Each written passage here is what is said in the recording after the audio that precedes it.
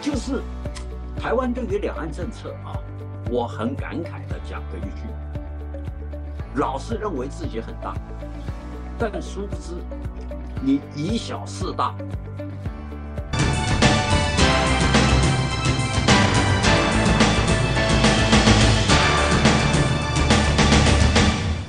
各位观众，大家好，我是有话直说的主讲人张友华。在野党派，我统计了。大概从四月一号到八月三十一号，有十个团要登陆。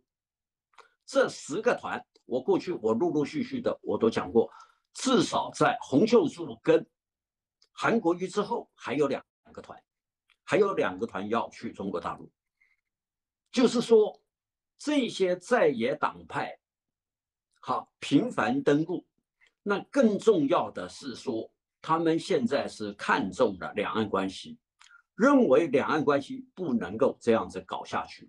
那事实上，中国大陆最先邀请的，除了马英九以外，除了国民党以外，还有一个非常重要的党主席，这个人的名字讲过“两岸一家亲”的柯文哲。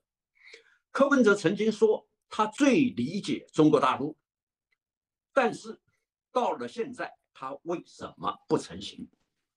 为什么没有去中国大陆访问？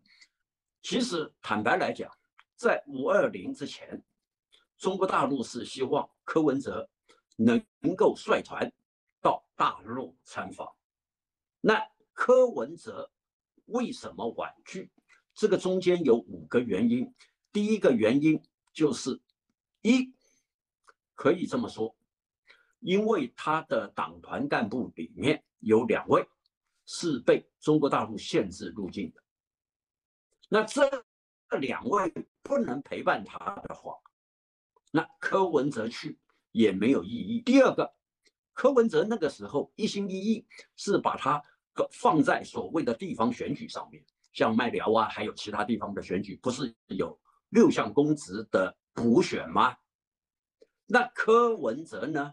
就是希望御驾亲征去试试水温，如果赢的话他就去，结果没有想到一败涂地，一败涂地当然影响了柯文哲的信心，这个是第二个。那第三个就是柯文哲，他始终认为这个两岸政策对民众党来讲的话是最没有包袱，虽然最没有包袱，但是民众党也。最不重视两岸政策，民众党截至目前为止没有提出两岸政策的政纲啊，或者是纲领啊，或者是党纲啊、党章啊都没有。就是柯文哲讲到两岸政策都是信口开河，没有哈，没有经过哈，哈审慎思考后，对于两岸政策提出。一套比较可行的运作模式没有，截至目前为止没有。这第三个，第四个就是柯文哲，他也希望，他也希望接待规格、接待待遇、会谈主题能够跟中国大陆，好，能够跟中国大陆平等协商。那事实上，接待的规格也好，接待的待遇也好。这个要视实际的情况而定，但是当你只有八席的时候，那请问一下，那我真想请问一下，当你只有八席的时候，这个成绩需要多高？这个是柯文哲自己要好好想想的。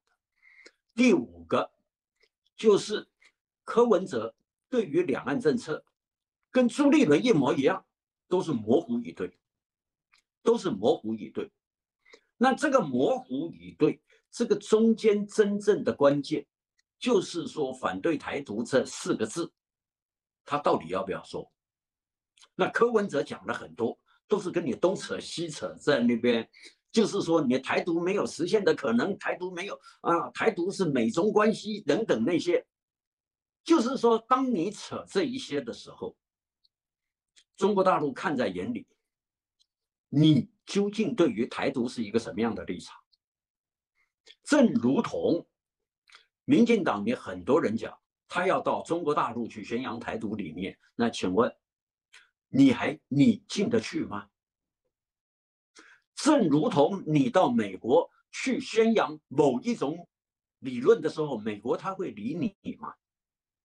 就是台湾对于两岸政策啊，我很感慨的讲个一句：老是认为自己很大，但殊不知你以小事大，要视之以智。但是往往哈，往往。那你说你要对等协商？请问美国对欧盟有没有对等协商过？请问美国对日本有没有对等协商过？请问美国对俄罗斯有没有对等协商过？请问美国对中国大陆有没有对等协商过？他身为一个霸权，他自有他的定见，也自有他的看法，跟你想的完全不一样。所以我们看国际嘛，你国际情势这样子嘛，那事实上。美国讲了一中政策以后，那包含柯文哲他们都认为这个一中政策究竟指的是什么？美国都没有讲清楚。很多的政策，你要你要叫大国讲清楚的话，那你就自己找死嘛，因为他要保留弹性谈判的空间嘛。那这一点就是说，台湾的政治人物，我也经常的。好，我也经常的请他们去看两本书，一个是伍修权先生的回忆录，一个是王炳南先生的回忆录。我说你你看看，从日内瓦谈判到华沙谈判，美国跟中国大陆接触有没有签过一项协议？有没有？就是说，当你不了解这段历史的时候。你老是在现实政治的层面打算的话，那请问你能够得到什么样的结果？